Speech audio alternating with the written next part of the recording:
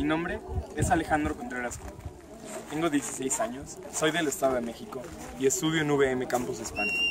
Participar en el proceso de selección de UWC me ha enseñado muchas cosas acerca de mí mismo, pero lo más importante es que más que una oportunidad, implica una gran responsabilidad de representar a México. Quiero agradecer a mis padres, abuelos, maestros y amigos, quienes a lo largo de estos últimos meses me han apoyado mucho. Quiero en especial agradecer a UWC México por la oportunidad que me brindan. Muchas gracias.